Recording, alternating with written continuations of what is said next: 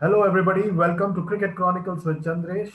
It's a huge privilege and honor to have a, a legend on uh, this channel, uh, the, one of the biggest superstars of Indian cricket, uh, Mr. Farokh Engineer, a true blue Mumbai boy. Uh, welcome to this chat, Mr. Engineer. Hope you're doing well.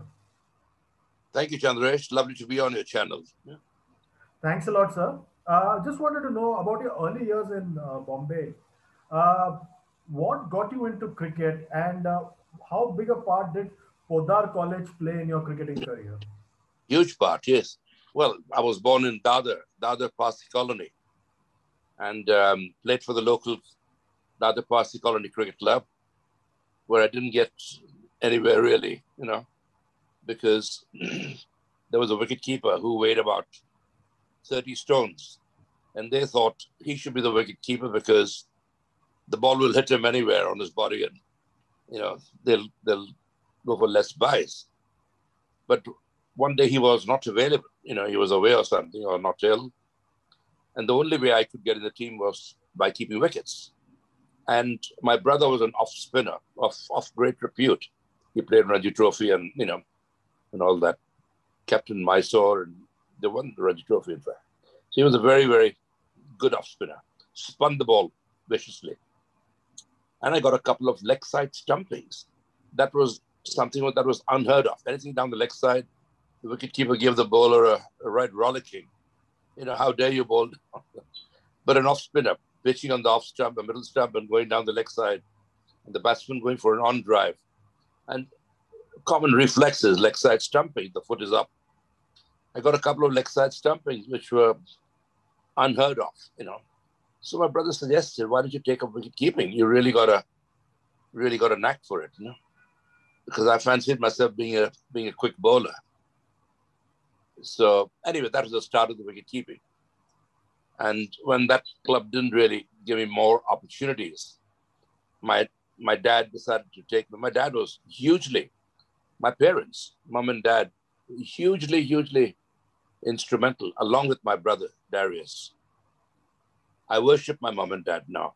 You know, I literally worship them to thank them for all they've done for me. And my brother, I lost him as well.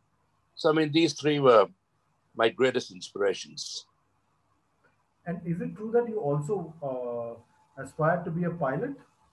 Yes, I was uh, in in in college. There was NCC or Air Wing or Naval Wing.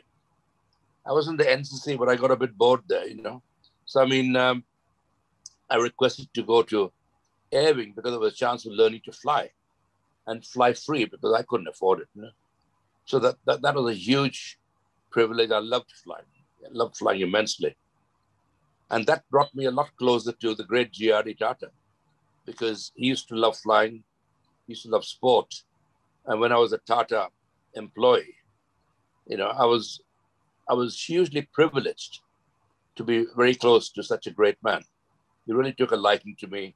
When I was offered a contract with Lancashire, I took his advice. He was the first one. And he was the one to tell me, go, go and play in England, get experience. The House of Tatas will always have, a, have an important role for you. Try and learn some, you know, besides your graduation, I've done my, done my, you know, BCom and all that. So try and learn something extra.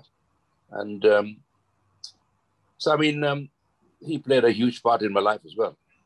The great and, uh, And, and I believe that uh, the great Muhammad Ali was also your idol. Of course, Muhammad Ali is everybody's idol.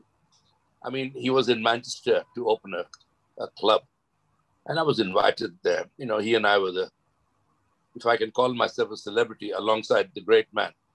So he just jokingly punched me here, you know, just slowly and he couldn't even speak properly because he was suffering from his Parkinson. He says, "They tell me you're a legend."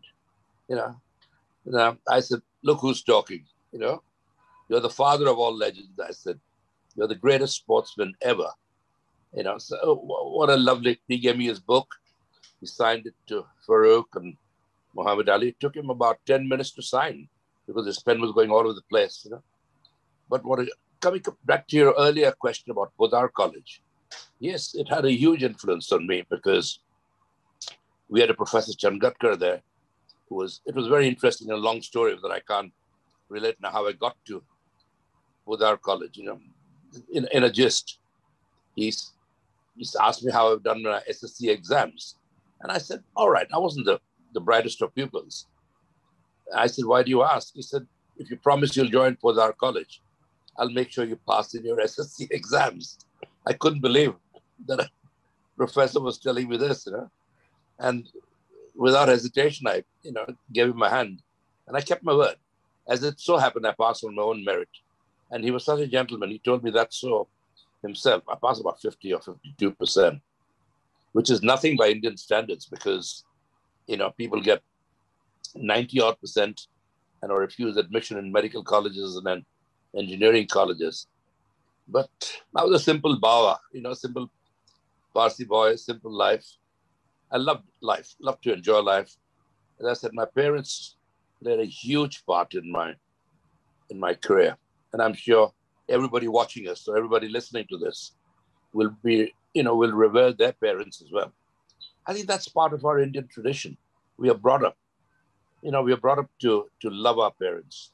And and and any anyone who falls out with their own mom and dad, oh gosh, one's got to swallow all one's pride and apologize, even if they're in the wrong. Yeah. This is the this is the respect and the love, you know, we have or we should have for our parents. What what do you remember about your test debut? Uh, your call up, who called you, uh, receiving the test cap, if at all. What do you remember about your test debut? Yes, my my first step was uh, Lala Amarnath, who was chairman of the selectors, took a team of Indian starlets to Pakistan to play Pakistan Eaglets. That's where I got my first opportunity to, you know, to, to go abroad, so to say. And um, I must have kept wickets, you know, exceptionally well there and batted well. So Lala was telling everybody, the chairman of the selection committee, that this is our next Indian wicket keeper. Now, soon after that, soon after we came back from Pakistan, Lala Amarnath was out of the selection committee. And I think someone else came in who had never heard of me.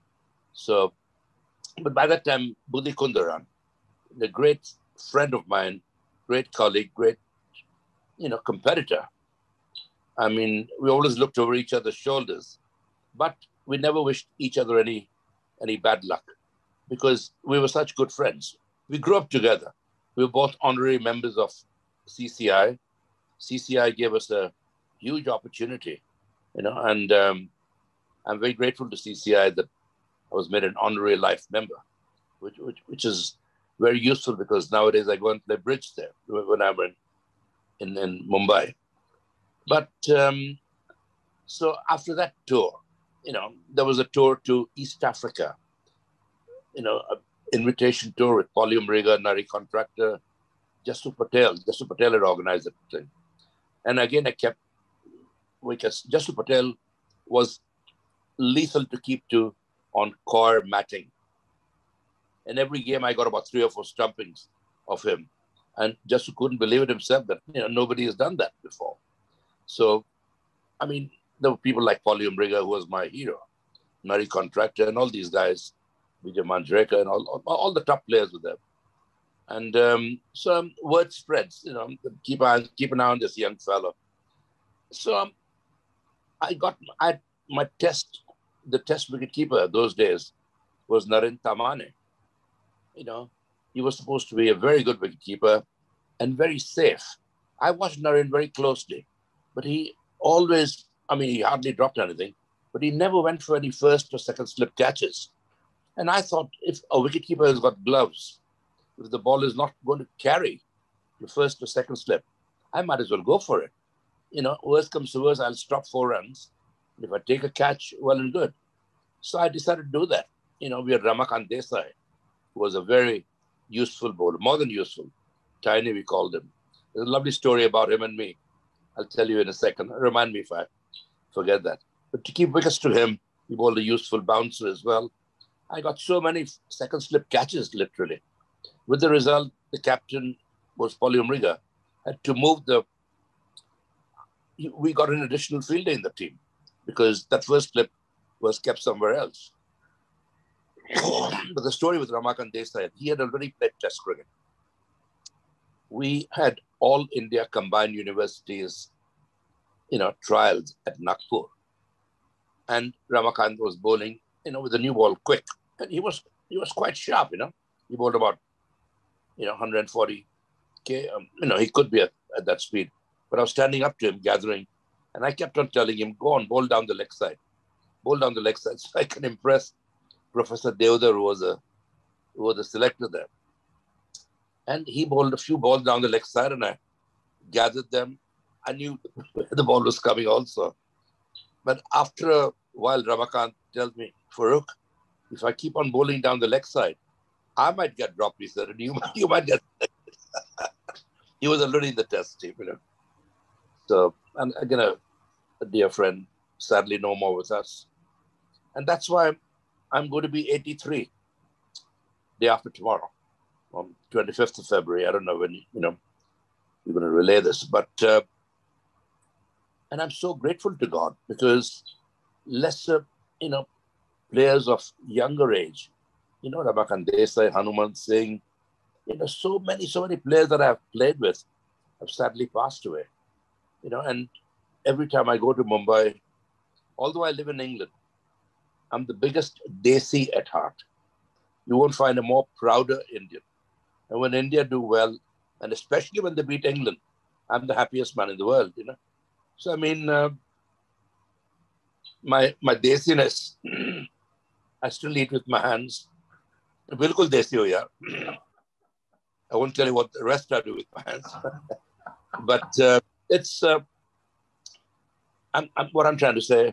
I'm hugely, hugely proud and privileged to be an Indian. Always have been, and always will be till till my breath, last breath. Although I live in England for circumstances, you know, beyond my control, really. You know. So I wanted to know your hair is still doing well. Uh, is it all because of the the advertisement that you did with Brylcreem? well, those days we got paid 50 rupees a day. You know, 50 rupees a day, which was 250 rupees for a five day test match. Nothing, you know.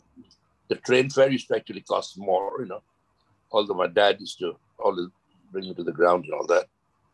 But we didn't play for the money. We played for the pride and honor of playing for Mother India.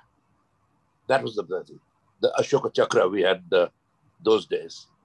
You know, the three lions. That, that was what we played for played for the country, you know, given our life for the country. And um, sometimes when your country kicks you in the teeth, it hurts more because you love you love your country so much and you want to do so much more. But I've had my setbacks like like anyone else has. You know, I've had my fair share of setbacks that I don't think I deserved some, some of them. And some of the criticism, un, you know, unwanted criticism. But I'm very lucky, very grateful to God that I'm 83, still breathing, still alive and kicking, and enjoying life to the full. I've always believed that life is there to be enjoyed, you know, and no point. This is not a dress rehearsal. We're not just doing this for fun. It's the real thing. So my advice to all our viewers is, you know, get up and go and enjoy life. Do the things you want because you never know what, what's around the corner. A lot of friends have told me, my dad's your age. He, he retired long time ago. He just sits in his chair, does nothing, waiting. In, he's in the waiting room literally to be called up. No, I said, no, that's not the attitude I'm going to have. I'm going to live and enjoy life to the full. And I certainly do that without, without playing harm on anyone. Yeah, so that's my, my advice to everybody is, yes, talking about the the Brylcreem. I was the first cricketer, Indian cricketer, to be asked to endorse products.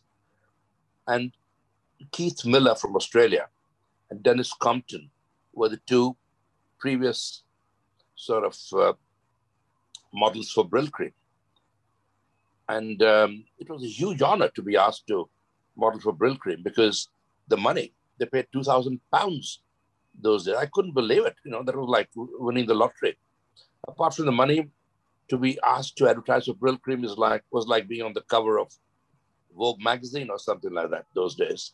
So it was a huge, huge thing. Because after me, there was David Beckham.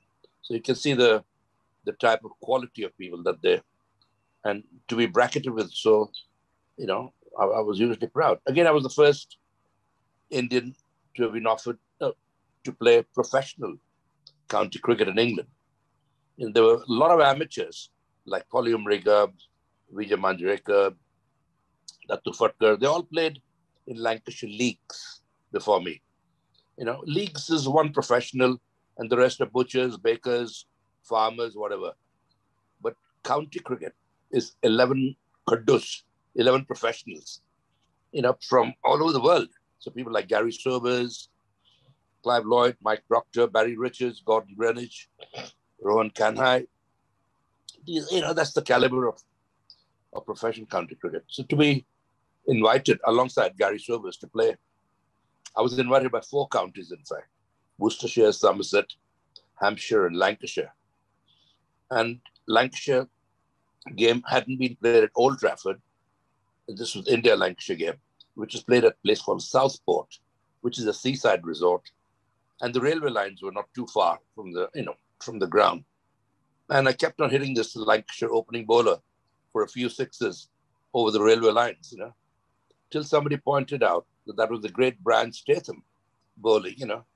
I almost felt apologetic because I heard so much about, you know, Statham and Trueman and all that. You know which demolished our 1952 Indian team.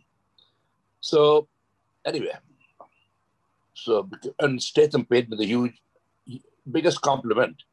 He said if Farokh Engineer was behind the stumps during my career, I would have finished with twice as many victims. You know, so I mean, to come like that from a great man, because I got a lot of leg side catches. So we I'd never kept wickets to fast bowlers before, you know, and then to come here but it's pure sense of anticipation, sense of balance, sense of timing. And on the wicket keeping, while we're talking about wicket keepers, I'd love to pay young Rishabh Pant a huge compliment. You know, I've been asked who should keep wickets, Saha or Pant. And when Pant made a few mistakes, Pant is technically flawed. He's not, he's not technically the most, you know, astute. A purist wicketkeeper will, will certainly say that, and, and rightly so. But you take him as a package deal, like you took Dhoni. Dhoni wasn't the, the greatest of wicket keepers, but he improved, improved a lot, you know, by practice and playing. excuse me, getting experience. And Pant is doing the same thing. So after the first match, someone rang me and said, Should Pant be dropped? I said, No way, because this boy will win you matches. And how true I was. He won India matches, you know, in Australia, over here. So, I mean, and he's quick to learn. He's got all the ingredients of a good keeper, great keeper. He's got quick reflexes, he's got a wonderful eyesight, sense of timing, all these things, sense of balance. These are the four coordinates you have, and you can play any sport. You know, and wicket keeping is certainly at the top of the tree for me. You know, so I was talking about World Eleven. You know, huge huge, I was hugely privileged. That was one of my proudest moments for my country, you know, to have, to be number one wicketkeeper batsman in the world. You know, when I had players like Alan Knott, Bob Taylor, Rodney Marsh, you know, to be above them all. And the selectors were so like Sir Don Bradman, Sir Len Hutton, Sir Frank Worrell, you know, three great knights of cricket. So to be recognized by these people you know, and later on when World 11s were played, Sunil Gavaskar was there, Bishan Bedi was there, you know, so I mean, it was, it was a great feeling. Uh, I, I'm quite interested in knowing your thoughts on why very few Indians, as compared to Pakistanis, have played in county cricket. There have been very few Indians like you, Dilip Doshi, Ravi Shastri played for a period of time. the Morgan, yeah. Murli Kartik. Uh, why is Firstly, it, why is it that very less Indians have played? Well, firstly, you've got to be asked. You've got to be invited. You know, and um, in my time there was Imran Khan. You know, just after me, And uh, Mushtaq Mohammed played for Northants. There were only, only two Pakistani cricketers in mind when I played. But later on, a few came, you know. But then a few Indians also came. VVS came and played for Lancashire. In fact, I got him to Lancashire. Sachin played for Yorkshire for a year or two. Anyone, again, who's listening to us or watching us, and if you're a young cricketer, if you get the opportunity to come to England and play county cricket, grab that opportunity with both hands because you'll be a far better cricketer. Because in England, you play on different pitches. And in my time, there were uncovered pitches. You play against the creme de la creme. Nowadays, IPL also has creme de la creme. But you play them on English wickets, English conditions. With the result, your technique has got to be, you know, it made me a far better cricketer for India and helped me win the Oval Test match for my country, you know. So, I mean, um, so my advice to anybody, come to England and play, at least for a season or two. Now, Dilip Vengsarkar was a very dear friend. He has got cricket academies and he does a tremendous job. He brings his team every year, youngsters, to England. I support him. I try and arrange the odd game or two also. But he gives youngsters the opportunity to come and play. Their parents also come. And I think it's a it's a great thing for them. Great thing for a little 12, 13 or 14 year old to come to England and play against English bowlers and, and different teams here. Get the experience. You know, a bit different from playing at Shivaji Park Gymkhana or, you know, or Dadar playing in England. So I mean, it's it's a wonderful opportunity. It's going to be 50 years of two uh, 50 years. It's the 50th anniversary of two events uh, of Indian cricket that you were part of: the win in West Indies and the win in England. Everybody in India looks up to that generation and uh, what you guys well, did in West Indies and England. Chandresh, I hope so. Because um, West Indies, I was appointed the captain for that tour. You know, I don't know many people know about it, but Mr. Vijay Merchant thought that I was too flamboyant to captain India. You know, he was against me and Tiger Pataudi for some strange reason. His only reason being that we were too flamboyant. I couldn't understand what he meant by that, flamboyant. I took my catches, stumpings, I scored runs, I played in Ranji Trophy, Duleep Trophy matches, everything. Proud Indian at heart. So I mean, I don't know why, you know, he thought Tiger, Tiger and I were flamboyant, but for reasons known better known to him, he brought an excuse that I'm playing county cricket, so I can't captain India. I said, okay, I'm not really bothered about captaining as long as I play for my country. Then he said, no, you're not not eligible also to play for India. I was completely shocked, you know, when he told me that in the meeting. And I'd especially been flown to India, to Mumbai at CCI. We had this, we had this meeting with him and Keki Tarapore, who was the secretary. And the both, I said to Clive Lloyd is captaining West Indies. He's my roommate, my colleague in Lancashire. Yeah, well, West Indies may have different rules or so, you know.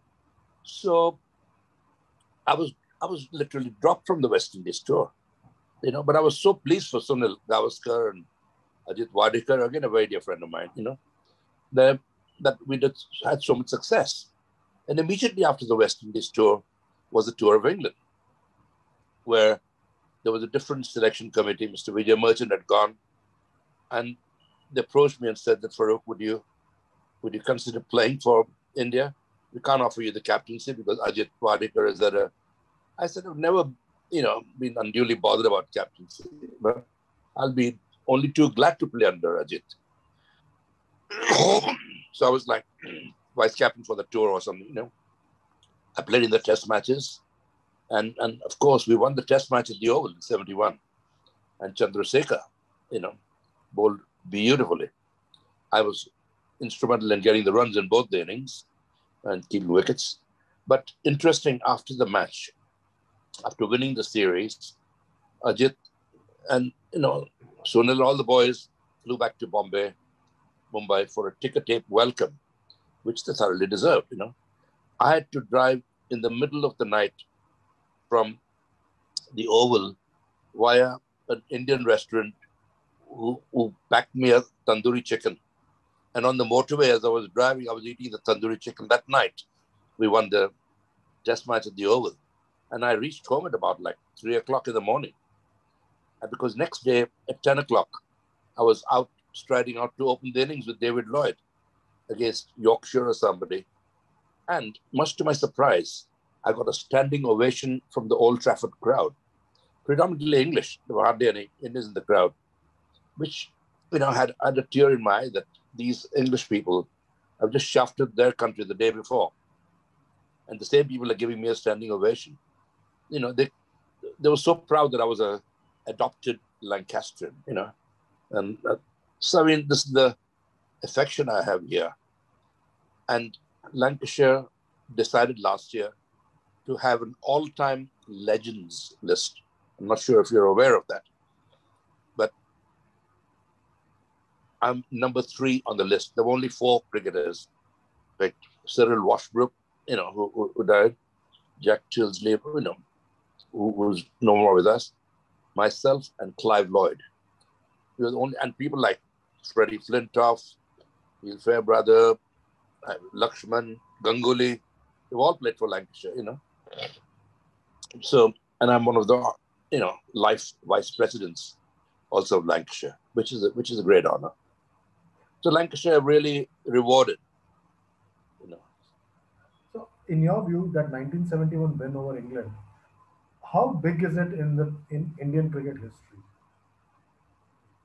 Well, for me, it was just another game, another match, you know, winning another Test match.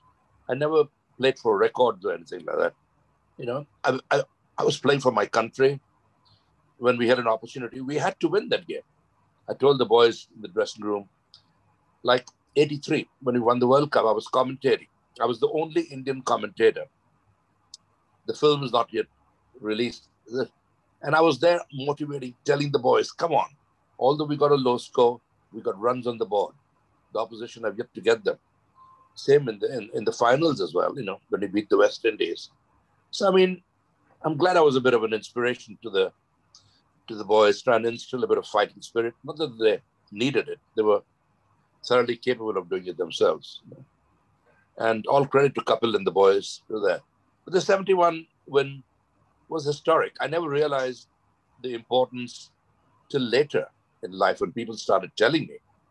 The first time India won in England, I was there when the first time India beat, you know, West Indies or Australia, New Zealand, everywhere. I was there part of the, you know, setup. So it was no big thing. But now that you mention it and the 50 years and all that, but what our board hasn't done anything to recognize that, have, have they? I mean, I don't Not know. yet.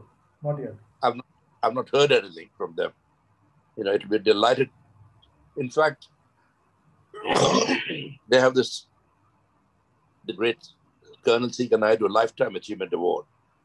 I'm yet waiting to get my award because, you know, Faltu cricketers have been picked for, for that thing.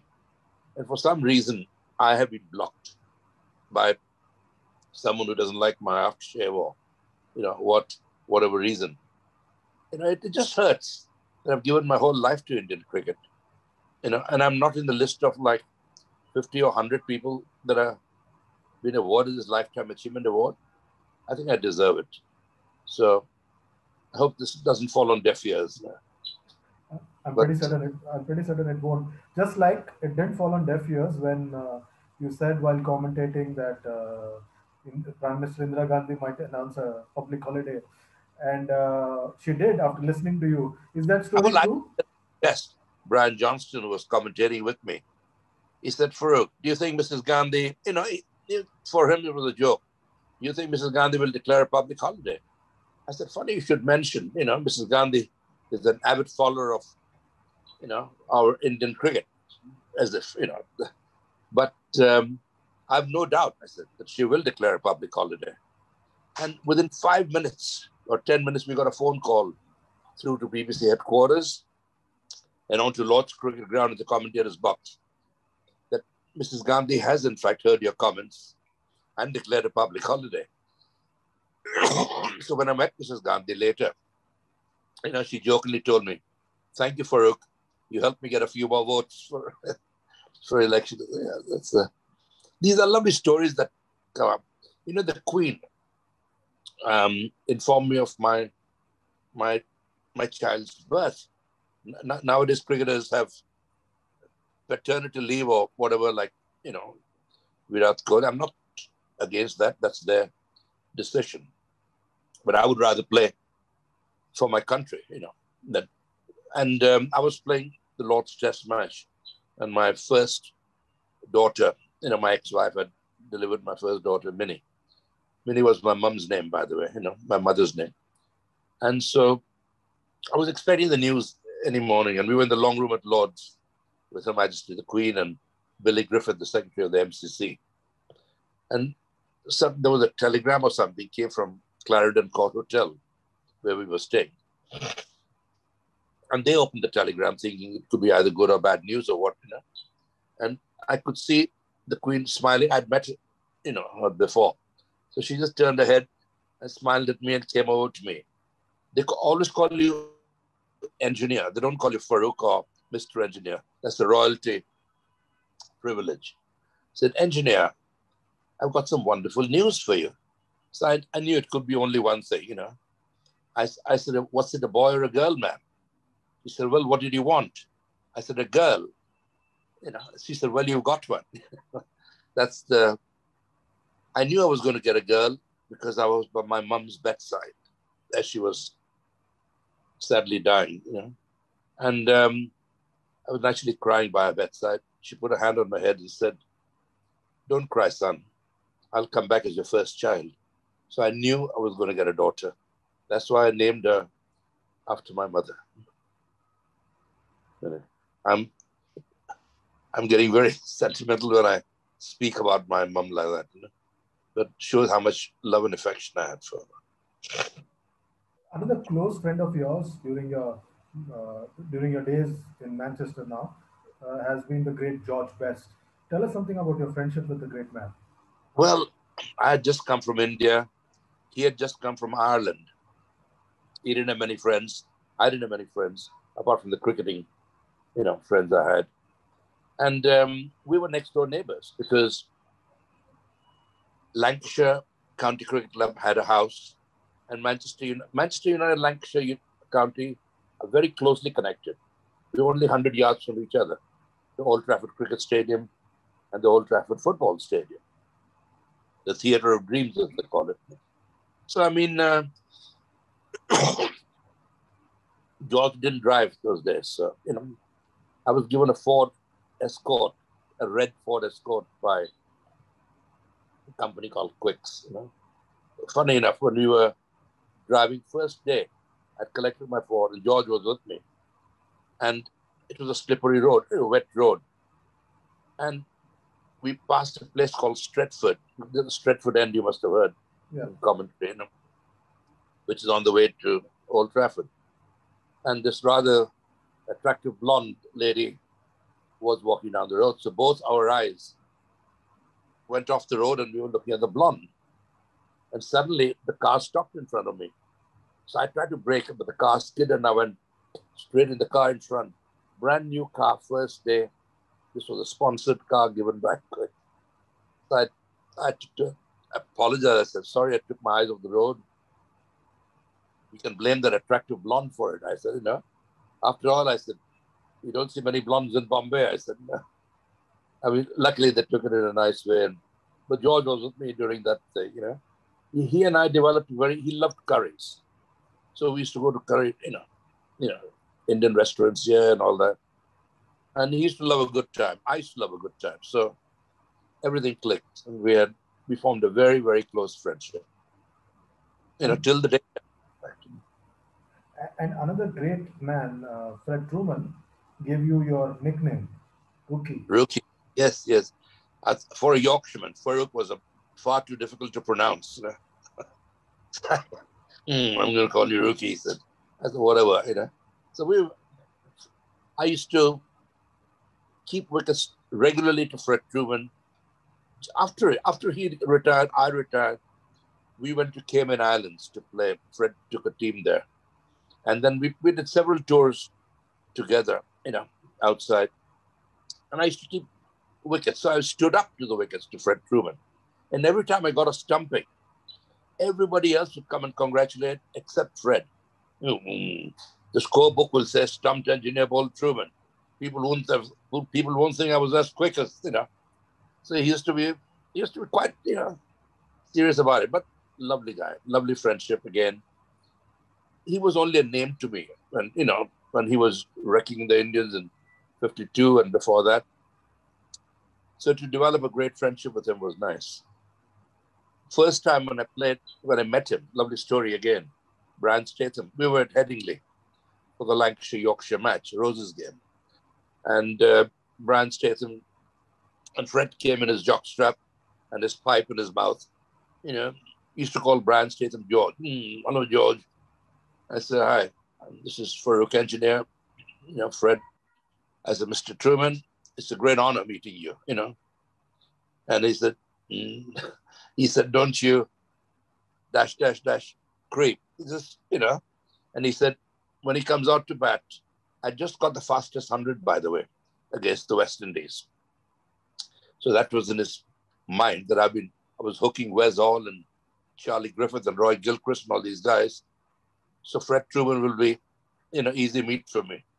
But according to Fred, he was the quickest bowler in the world or the best, greatest bowler. He didn't lack any confidence, that's for sure. So he said to Brian, if the phone rings for him. That time there were phones in the dressing room. He said, ask him to hold the line because he'll be right back answering it, he said. I opened the innings, I think with Geoff Pullar, and still a bit on, still a bit off, and everything. And Fred, with due respect to him, had just past his prime. He wasn't, you know, as quick in 60s as he was in, in the 50s. But and I was expecting a bouncer because such an attacking field and all that. And the first ball was a bouncer.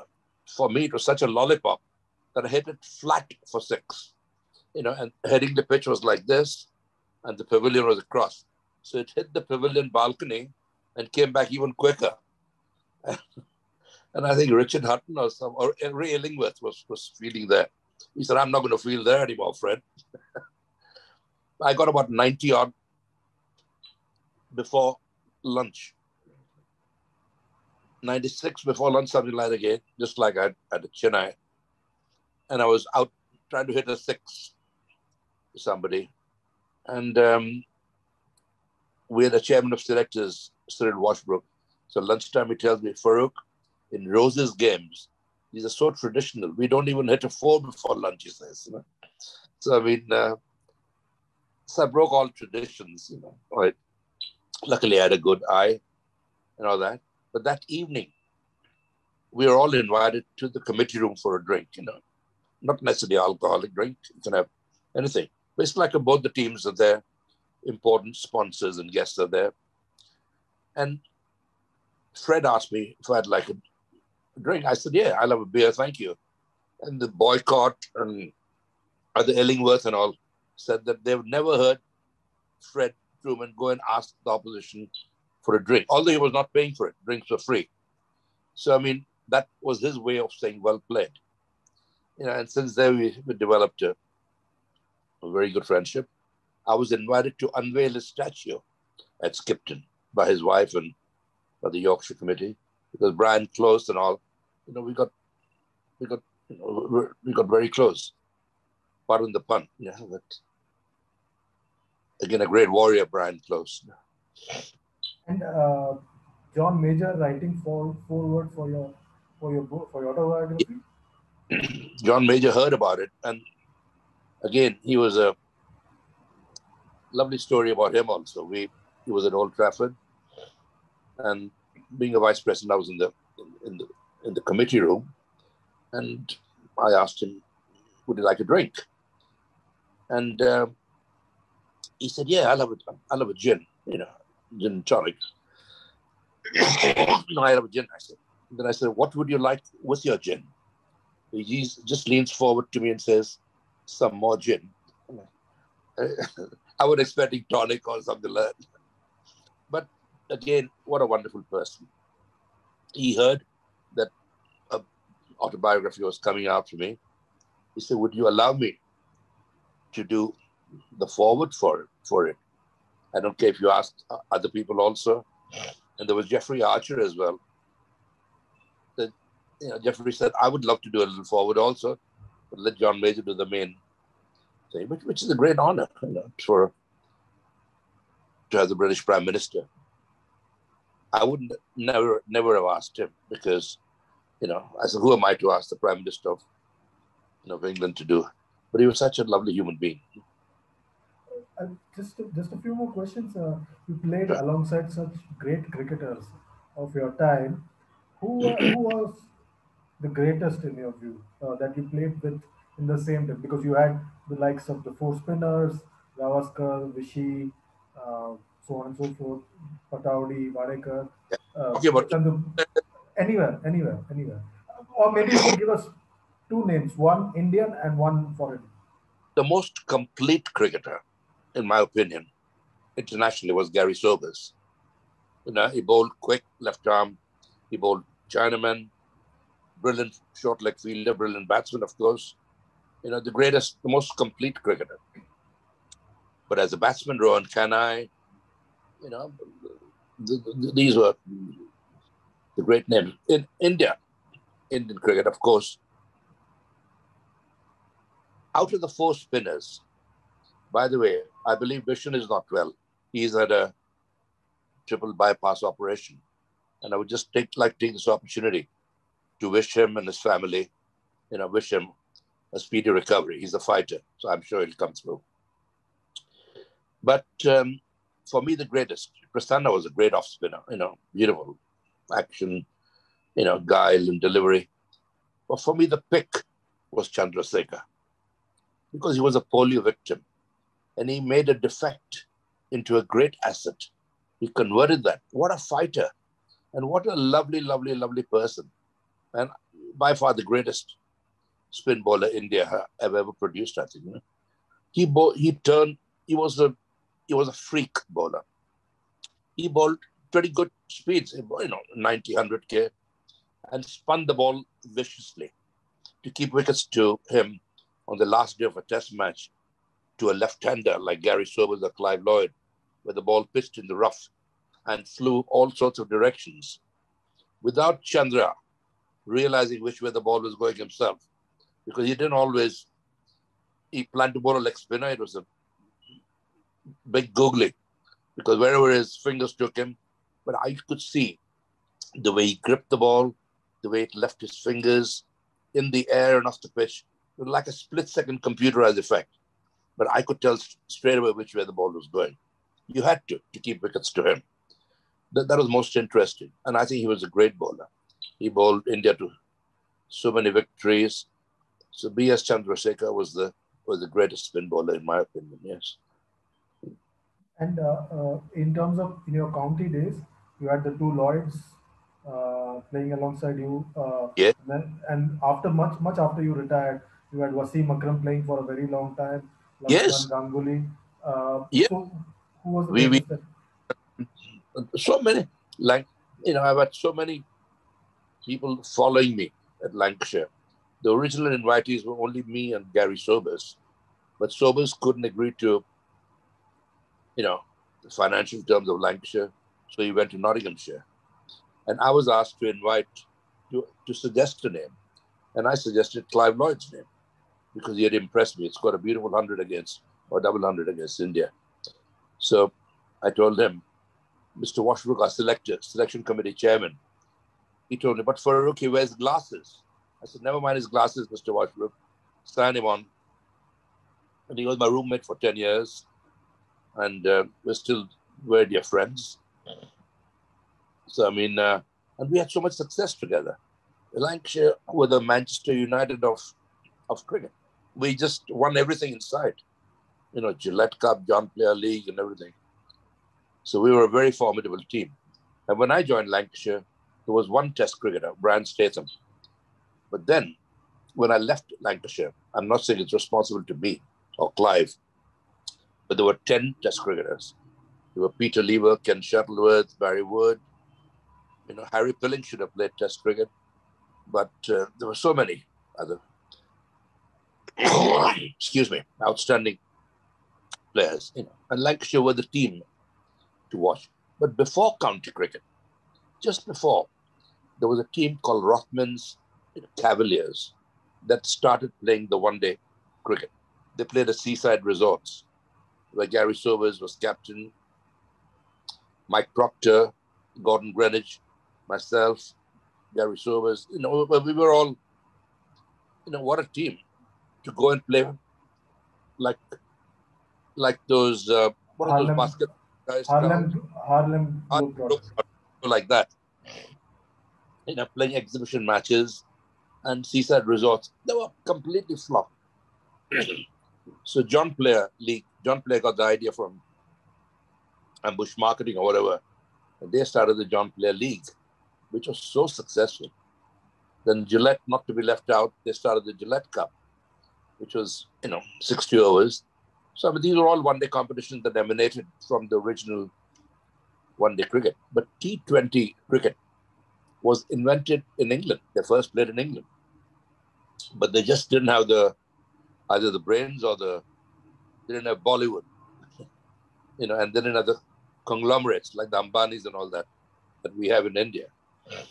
So I mean, Lalit Modi took the idea to India and formed the IPL. I mean, we are the envy of the world. The IPL has done tremendously great job. You know, I love, I love the IPL. A lot of ex-cricketers will say, no, a load of rubbish and all that. I've heard them mention. Okay, it's a bit of a bit of a thrash. But look at the enjoyment it provides. Look at the entertainment it provides. Look at the opportunity it provides to younger people from poorer families, from villages, you know, and for guys to come and the rickshaw drivers' sons, and you know, they build houses for their parents you know, I mean, it's some Pandya brothers have done so much for their parents as well. So I mean, so much good has come out of it. How can you not enjoy the IPL? I watch every IPL game. You know, especially Mumbai Indians are, you know, huge for them. Ambani's are very, very dear friends. Wonderful, wonderful family. You know, they've done so much for, for you know, Indian cricket as well. And Sachin connected with them also. So IPL, I think, is great. You know, we always joke that I would have been the highest earner in IPL these days had I been playing. Tell a lovely story about Sachin with all the money he has. His um, his friends advised him to get a credit card. You know, so the local bank clerk asks him a routine question. He said, Mr. Tendulkar, are your earnings in excess of 50 million rupees. So Sachin shrugged his shoulders and says, some days yes, some days no. He says, so I mean, um, but he's a lovely boy, Sachin. You know, he and his family are great inspiration to Indian cricket, great inspiration to youngsters. You know, his success hasn't gone to his head. And such a lovely family. You know? And uh, you spoke about enjoyment of IPL the very first season of IPL, you were a match referee, and Yes. uh, you had the onerous task of uh, adjudicating on Harbhajan and Sreesanth. True, true, true. Well, I don't actually see the incident after the match had happened, you know, but it was pointed out to me, and I had to go and see in the television, you know, the replays, and the foreign press, the Australians especially, oh, typical Indians. Actually, the word typical bloody Indians, they'll just shove it under the carpet. They won't do anything. You know, and that was a great insult to me and my country. You know? After seeing the incident and all that, Harbhajan, a lovely guy indeed. You know, he just lost his cool, but Sreesanth sort of aggravated him, you know. And uh, after the match, I believe, when they shake hands, you know, he must have, Sreesanth was said, hard luck or something sarcastically you know, and he turned his back. Harbhajan just gave a padak backhand, you know. And uh, the whole thing just took off. He started crying. He in front of television cameras and all that. So the rest is history. But I find Harbhajan the money that he would have earned for the rest of the season, you know. So, I mean, we did take action. But um, I think people are very, match referees these days are very, very reluctant to take action against any any cricketer, you know, and I think they're doing a great disservice to the game because there have been several opportunities when players should have been ticked off for certain actions, you know, but not a word has been said about it. It's all been brushed under the carpet. And that's not the game. That's not the way, you know, cricket should progress. So, I mean, but I'm not here to, you know, one of the rights and wrongs of the game. I've had a great life, great, and enjoyed my cricket immensely. And I will continue to enjoy my life as, as long as I can breathe. Yeah you didn't come back to the IPL, did you, after that? In the later years? I was invited. Again, politics. You know, I, I thought I did a tremendous job there. You know, the very first year. Second year, it was played in South Africa. And much to my surprise, you know, Lalit Modi was also out by then. You know, BCCI came in. And I wouldn't have minded some other cricketer taking my place, but some some politician or someone went as match referee, you know. And I just couldn't understand the logic. You know, some some rich guy's nephew or some guy's son, you know, was was was there in my place. And that hurt me. I thought, you know, had it not been for me, the IPL may have never have taken off. Because the very first match was at Eden Gardens, where umpire Billy Bowden wanted to call the game off. The very first game at Eden Gardens, televised. The whole world is watching the first game of IPL. And a little wet spot on the boundary line. You know, Billy Bowden wanted to call the game off. And I said, no way. You're not, you know, we are the showcase of the world at the moment. India, everyone has got his eyes on India. And many of the purists wanted IPL to fail. You know, they didn't want IPL to succeed. Why India? Why, you know? So I said, no, you will play. You will play a reduced overs game. And Brendon McCullum got a beautiful 100 there or something like that. And that was a takeoff for the IPL. You know, uh, that that really created, you know, send the waves running through throughout the world. And IPL really took off from there. And then not to have been asked the next year was a bit disappointment. Even Clive Lloyd was a referee, and he wasn't asked either.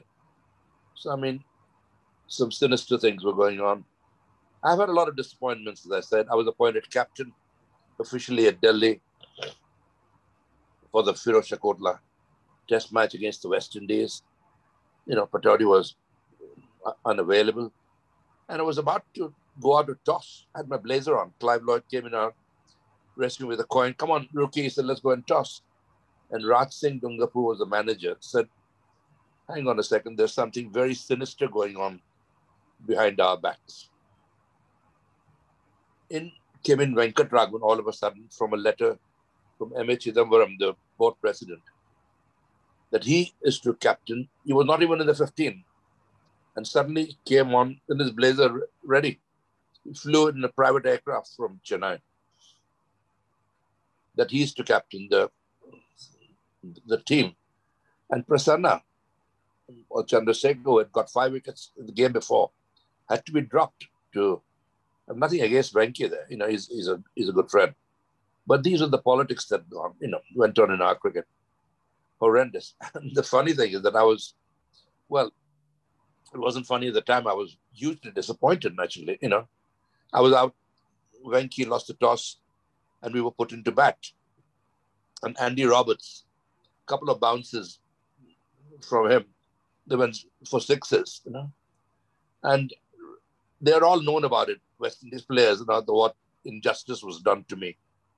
And Roberts said after the second six, he says, Man, don't get it out on me, he says. I mean, the whole thing, situation was diffused. We, we smiled after that, and but it hurt. Is that the reason why you quit at the end of the series? You retired at the end of the series? No, that wasn't the that wasn't the only reason. It was partly I was invited to play county cricket.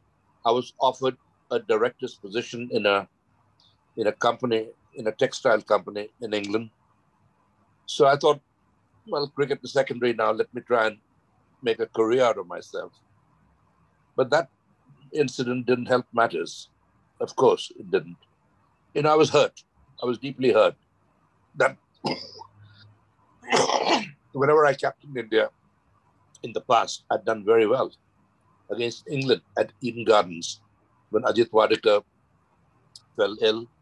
I had to get 10 English wickets under 130 or 140 runs. And um, I got Chandra again. I said, Chandra, there's plenty of time. They will easily get them in singles. So we got to attack them and just, we got to get them all out. That's the only way. And to make them play shots, make them play unnatural shots, you know, try to hit it over the top and all that. And with your ability and our field placing, I'm sure we can get them out. So we did that. Alan Knott was a night watchman. I remember he was frustrated not getting a single or not getting the mark. Then he dashed down the pitch trying to hit Chandra, and he was stumped down the leg side by me. And then started England started panicking, and we won that test match. You know, it, people forget these things, you know, but uh, so I'd never let India down whenever I captained or any team down whenever I captained them before. So I was a bit hurt, yes. Why, you know, I love my country. I love playing for my country. Hugely proud of being an Indian. But, you know, you get kicked in the teeth sometimes, as I said earlier. And this was just one of the things. Many, many, many, many things. My name was put up for Padma Bhushan a couple of years ago. You know, which again is great honor. The government of India, you know, Mr. Arun Jaitley actually wrote to me and said, We're going to offer you this. Would you accept it? And I said, With the greatest of honor and a huge honor. There's somebody from BCCI, I don't know who, somebody pulled some strings and my name was taken out last minute. I don't know why, you know. But uh, you can't help it if you're not liked by everyone. But at least those people who have liked me, or those people who even dislike me, I love them. I have nothing, I have no grudges against anyone or anyone. I wish everyone well. And that's that's the way I live, my philosophy. Thanks a lot for your time, uh, Mr. Engineer. Really... Very interesting questions there. You know, you must send me a copy of this. I will. I'll, yeah, I will do that. I'll do that. Can I request you for one thing? Can I request you to just look into the camera and tell everybody to watch this interview and like, share, and subscribe the channel?